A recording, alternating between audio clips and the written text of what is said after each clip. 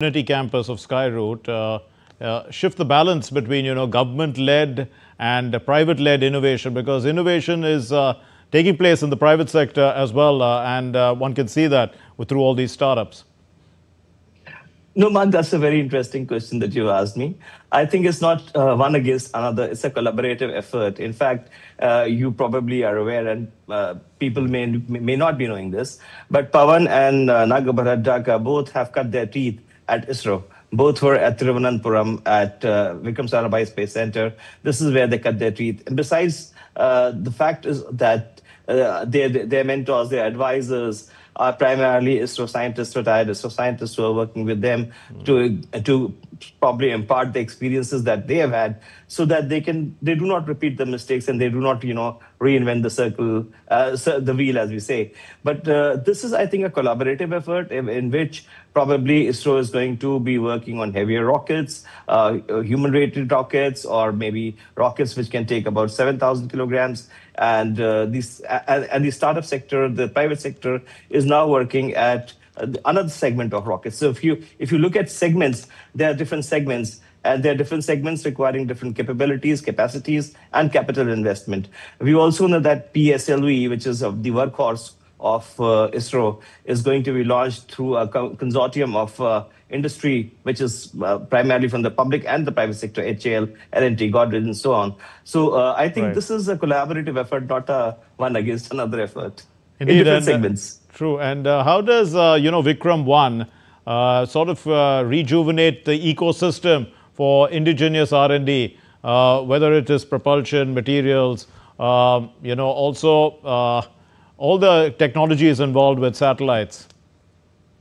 So absolutely. So uh, Vikram One, as you as as you have noted, is a carbon composite vehicle, and it is using cryogenic 3D technology. So uh, the cutting edge technology which is available today, and uh, the startups with their hunger for doing, uh, you know, I would say research work at the edge is something which is driving the innovation and the R&D.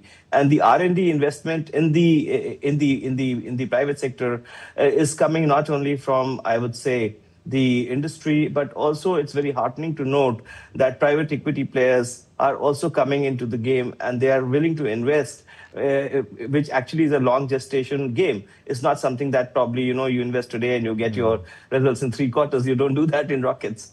So if the if the private equity is also happy to invest and the industry is happy to invest, this means there is some, uh, I would say, uh, future for Indian industry and Indian, I would say, uh, rockets as well as satellites to perform as as a private sector uh, and in a very competitive manner with other countries as well. So this is rocket science, but you know how does uh, it uh, help in job creation, investment flows, uh, regional development? Uh, do you think this facility will act as a catalyst? Mark, uh, this facility obviously is uh, is a turning point because uh, somebody has invested in the the humongous amount of money to create a center which is 200,000 square feet at the GMR Aerospace City, which is again you know where where a whole lot of development is taking place in the aviation and the aerospace ecosystem. space and aer aerospace especially cannot survive without a cluster of a cluster of, I would say um, uh, a cluster of companies, or I would say the industrial cluster, which will support them uh, to to build what they want to build.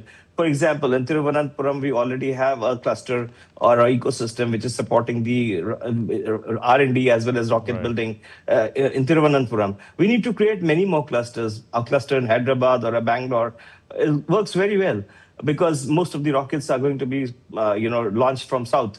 But at the end of the day, there is much more that can be done in the aerospace uh, and aviation ecosystem, which probably do not require only just uh, you know rocket launches. R&D, for example, or satellite manufacturing can be up there in the north. So we need to create a countrywide ecosystem for space industry in uh, going forward. And finally, how uh, how does one make this sustainable for the long term? Because what are the global trends for commercial space flight? You know, and how can we ensure that growth is taking place in collaboration with uh, let's say, what's happening across the world? Uh, thank you. It's a wonderful question because, uh, as I said, private equity or industry would not put its money where uh, where there's no ROI coming in.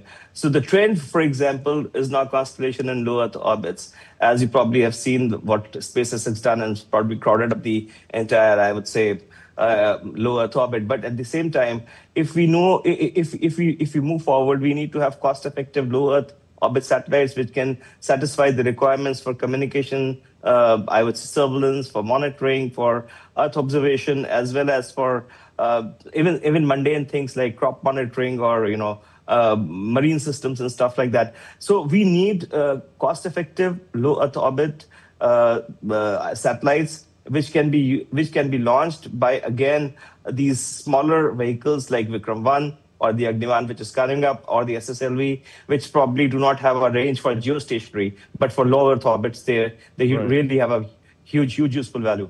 We leave it there. Thank you very much, Ratan Shrivastava, space expert. Thank you.